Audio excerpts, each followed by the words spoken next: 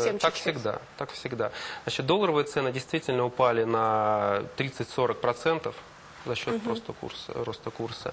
Ам, На участки без подряда э, в рублях цены практически не упали. Они остались в рублях на А что касается уровне. количества сделок, по некоторым сегментам, насколько я понимаю, лишь 10-15% от прошлогоднего вот, до кризисного периода количества сделок по земле.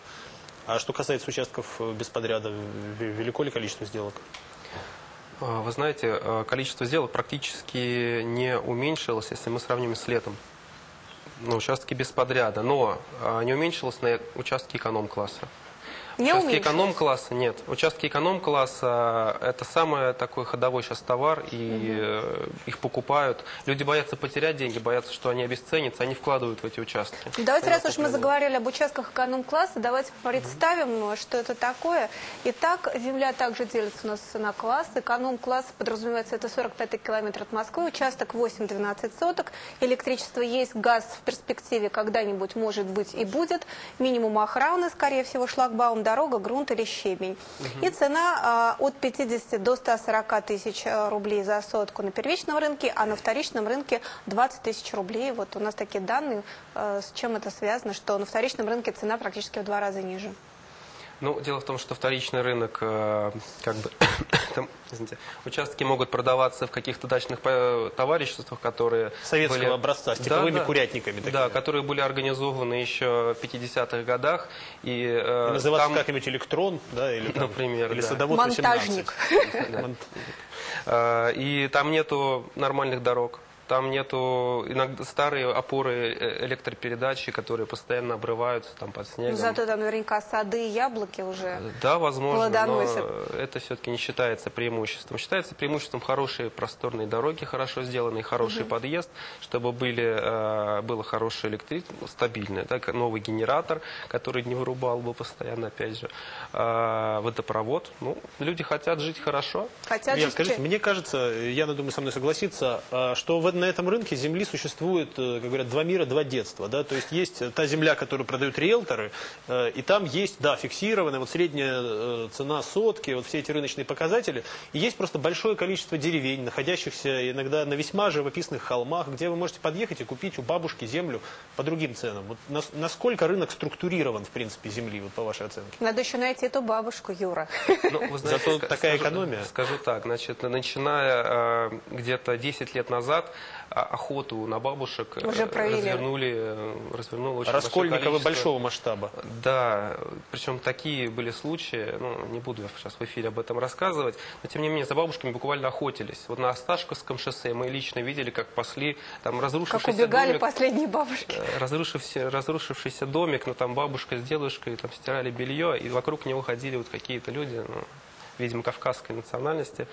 Э, Это было очень страшно. Но э, ближнее Подмосковье сейчас практически все скуплено. Что такое ближнее? До 50 или до 30, по вашей Я думаю, до 25, до 30, вот так. Ну, то есть не дальше. Сейчас можно такие участки найти, я бы рекомендовал. э, Тем, кто Обойтись хочет без помощи риэлторов. Ну, нет, Это я, не я по не могу, адресу это- я не могу так да, говорить. вот. А риэлторы, они помогают, они действительно помогают, если человек... Это друзья человека. Это друзья человека. Они помогают в совершении сделок, если человек неграмотен в юридической части. Ну, то есть они помогают людям э, совершать правильные сделки.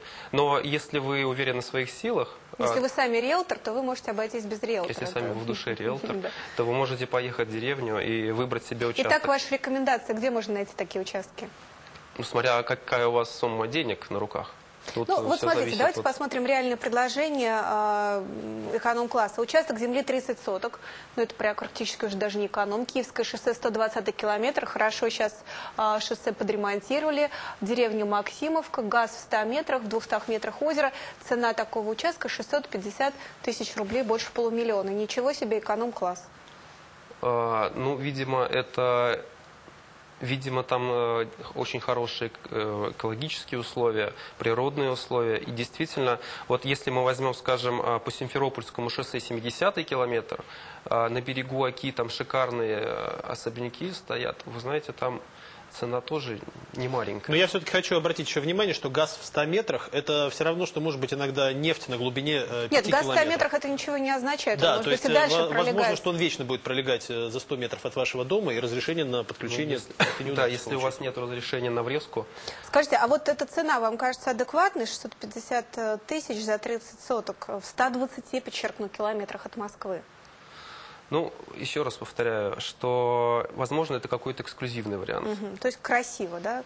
Красиво жить не Возможно, да. Конечно же, цены там э, на какие-то рядовые участки э, ниже. ниже. Так, ну что ж, давайте посмотрим дальше. Пойдем в бизнес-класс, двинемся. Э, Земля бизнес-класса – это 20-40 километров от Москвы, участок 10-22 сотки. Там будет электричество, газ, иногда коммуникация, а именно вода и канализация централизованные, охрана участков, будут заборы и КПП, хорошие подъездные пути, оборудованные места для отдыха, возможно, детские площадки, рестораны. По совершенству нет предела. Итак, первичный рынок, э, цена от 200 тысяч рублей за сотку, а вторичный рынок от 350 тысяч рублей за сотку. Наибольший спрос наблюдается на Киевском и Новорижском шоссе. Вот ситуация прям противоположна с эконом-классом. То есть на вторичном рынке а, предложение дороже. Почему? Но вот э, эти цифры я не могу вам э, Прокомментировать. прокомментировать. Э, очень странный разброс. Вообще обычно там и примерно одинаково. Мгм. То есть здесь вот будет, скорее всего, на ваш взгляд, примерно одинаково. Ну, да.